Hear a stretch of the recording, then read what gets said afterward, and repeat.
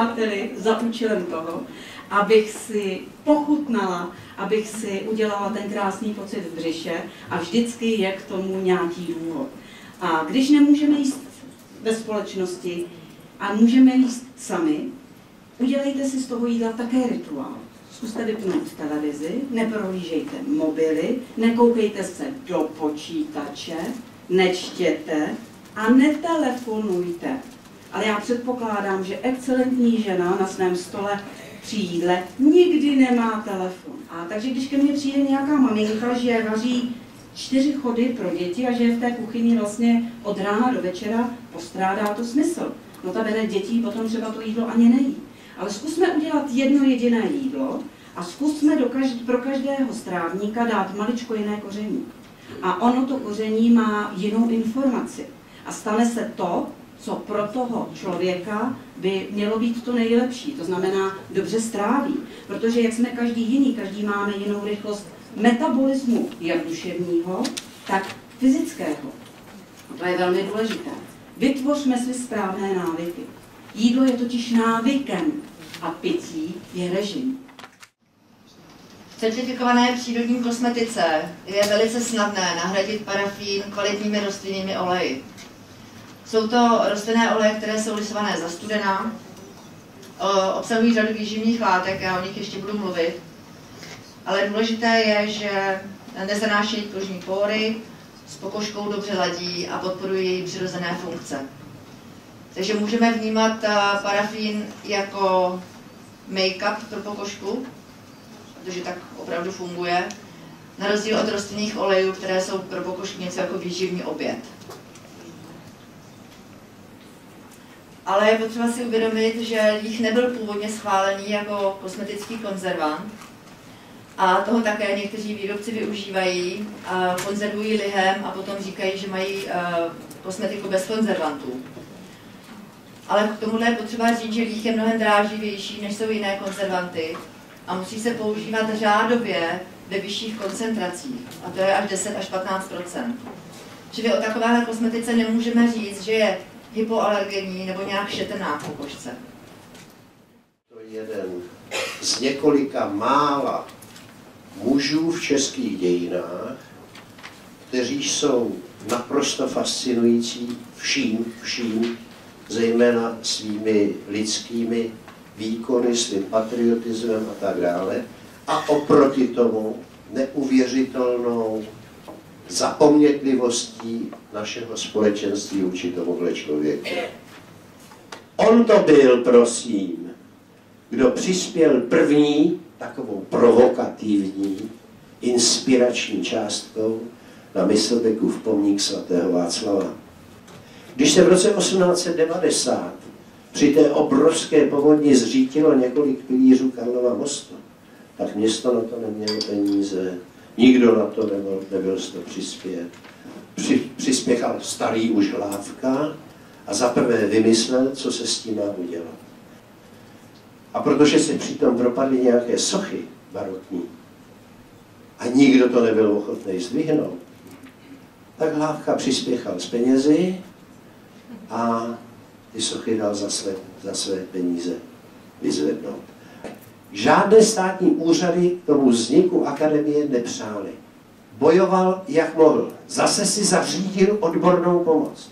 Požádal skvělé právníky, profesora Habětínka, profesora Jirička tak vypracovali statut, jednací řád a tak dále a tak dále.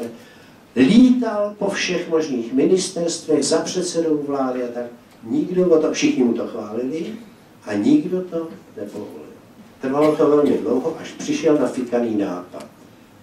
Napsal ministerstvu kultu, že ke 40. výročí panování France Josefa I je připraven, připraven věnovat částku 200 tisíc zlatých na testem, to jsme, jestli se nemýlím, u 20 milionů korun, na zřízení České akademie věd a slovesného umění. To nešlo přeskočit. Čili touhle fintou se podařilo založit Akademii věd. Založili ji, schrnulo se tam Bůh ví kolik Čecháčků, každý chtěl být akademikem, Sešlo se jich tam 106 vypukly neuvěřitelné rvačky o tom, kdo akademik má být a kdo ne. Takže vynechali některé jednoznačně zasloužilé muže, jako byl Jan Neruda nebo Tomáš Garik Masaryk, nenáviděný za to, za boj e, s padělky rukopisu a tak dále. Nebyla tam mimochodem ze 106 členů jediná žena, takové byly poměry.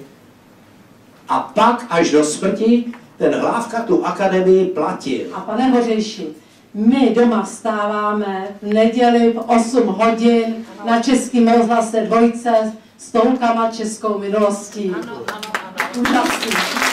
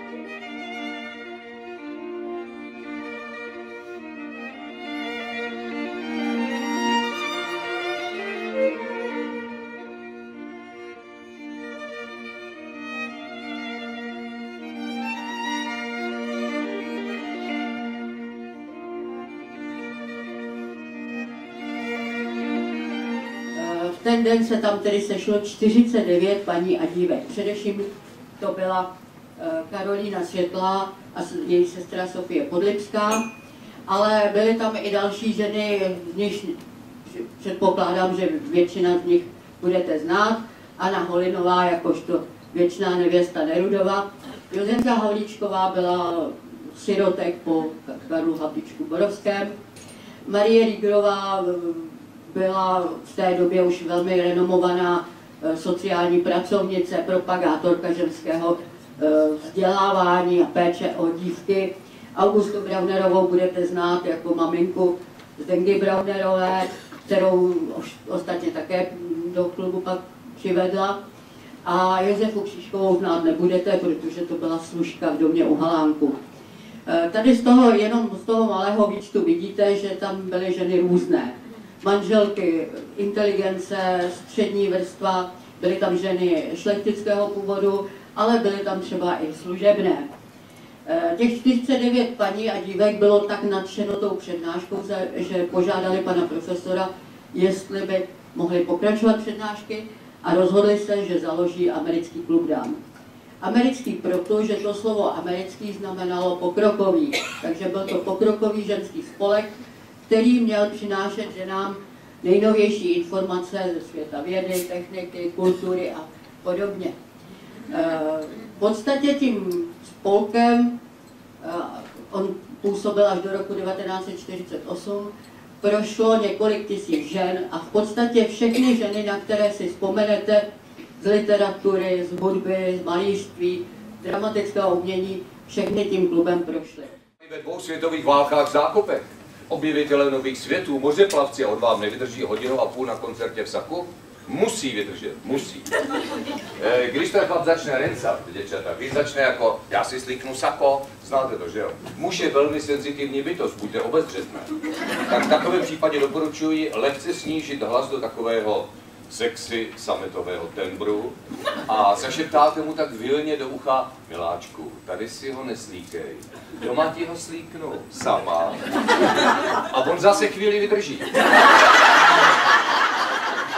Eh, Budu-li mít černé boty, budu mít černý opasek, černou peněženku, černý řemínek na hodinkách. Vyšší standard je kožený řemínek, nižší standard je kovový řemínek. Hodinky společenské jsou tenké, ploché. Takové ty masivní z mnoha číselníky, eh, ty jsou sportovní. Hodí se k Burberry saku, tweedovému saku, manchesterovému saku, ke svetru, k džínám. Na odpoledne k obleku bude mít muž pouze a jedině eh, tenké, ploché, co nejtenčí hodinky. Mimochodem, eh, všimněte si, co ti chlapi nosí po kapsách, jo? Takové ty cihly, jo. Tady tu peněženku, ve které má fotky eh, celé rodiny, má tam desítek, desítky karet, že jo. do golfového klubu, kam pojede na jaře, eh, má tam eh, drobný a tak dál. Ne. Jestliže máme ty obleky Slimline, tak pořídíte manželovi, budou Vánoce, pořídíte Slimline peněženku, tenká peněženka, ve které ten muž má dvě, tři karty a pár bankovek nejvyšší hodnoty.